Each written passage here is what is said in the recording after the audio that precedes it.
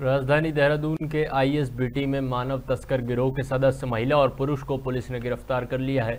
इसके साथ ही उनके कब्जे से छूटकर भागी तीन युवतियों को चाइल्ड वेलफेयर कमेटी को सौंप दिया गया है, जहाँ उनकी काउंसलिंग की जा रही है। इसी बीच बाल अधिकार संरक्षण आयोग की अध्यक्षता डॉक्टर गीता खन्ना ने बताया कि काउंसलिंग के दौरान हमें पता लगा कि वो तीनों युवतियाँ पूर्व से ही स्वतंत्र रूप से कार्य करती थीं। जिसके बाद हम यह पता लगा रहे हैं कि वह स्वयं अपनी इच्छा से कार्य करने के लिए यहाँ आई थी या उन्हें बरगला कर यहाँ लाया गया था। वहीं दूसरी तरफ़ एसपी सिटी प्रमोद कुमार ने बताया कि गिरफ़्तार किए गए आरोपी में से पुरुष आरोपी अमरोहा का रहने वाला है, जिस पर पहले से ही हत्या का प्रयास, लूट और गैंगस्टर एक्ट मुकदमे दर्ज है।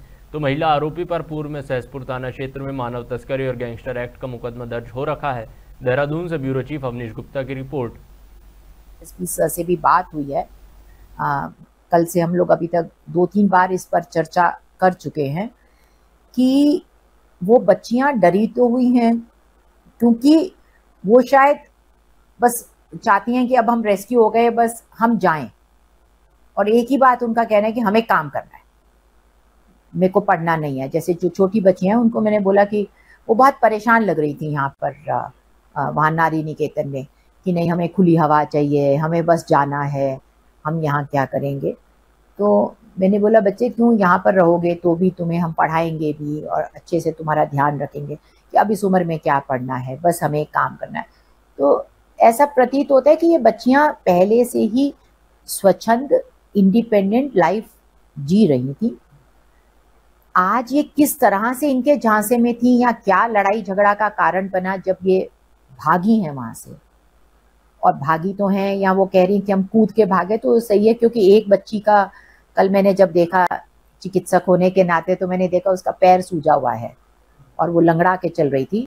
तो फिर मैंने उसका जब पैर देखा और फिर क्योंकि आगे अब छुट्टी वुट्टी का है तो मैं अपने ही अस्पताल उसको आ, उनकी आ, नारी निकेतन वालों को मैंने सलाह दी थी कि वो आप भेज दीजिए। तो मैंने यहाँ पर उसका एक्सरे और वो प्लास्टर हो गया है।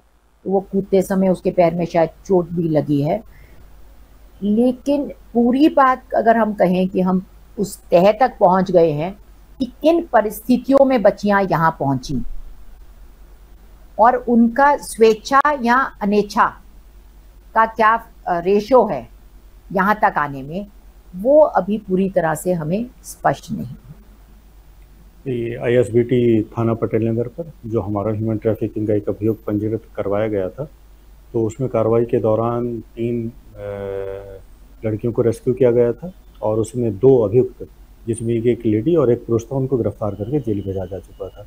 उसमें आगे हमारी छानबीन लगातार जारी है उसमें और उसमें अभी जो दो तीन लोगों के कुछ युवतियाँ हैं और एक दो युवक और हैं, जिनके अभी नाम या पता ठिकाने के बारे में अभी जानकारी की जा रही है।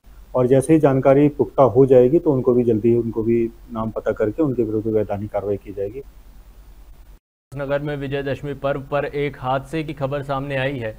दरअसल विजयदशमी पर्व पर मंदिर से वापस लौट रहे एक परिवार की कार त्यूणी के पास अनियंत्रित होकर गहरी खाई में समा गई है, जिसमें तीन लोगों की मौत हो गई, जबकि तीन लोग गंभीर रूप से घायल बताए जा रहे हैं।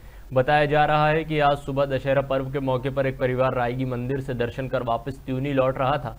उसी दौरान त्यूनी के पास अनियंत्रित होकर कार गहरी खाई में जा गिरी, जिससे कार के परखच्चे उड़ गए।